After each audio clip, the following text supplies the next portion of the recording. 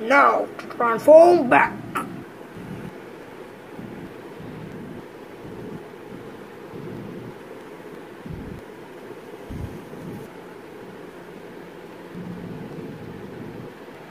That actually works pretty well.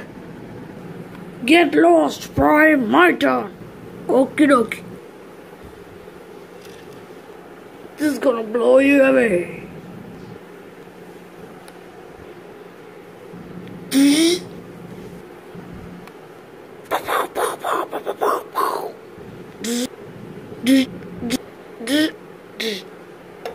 case you didn't know, everybody, this is just a stop motion test of how to transform a transformer on with, I mean, by a stop motion.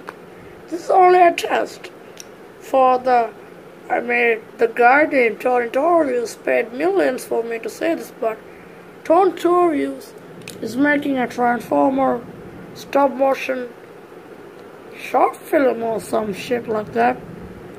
And this is the type of stop motion that he wants to make.